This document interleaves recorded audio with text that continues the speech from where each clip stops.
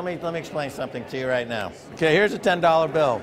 This is garbage. This is garbage. Your people in South Africa, you have your rand, right? That's going to zero. garbage, That's going to that's a zero. This is going to zero too. Euros are going to zero. The yen's going to zero. The Chinese currency is going to zero. It's all going to zero against Bitcoin. If you don't understand that yet, you're going to be impoverished. You're going to be on the street. You're going to be begging. You're going to be out of business. You're going to be toast. Max, do you know that it's a, a criminal offense?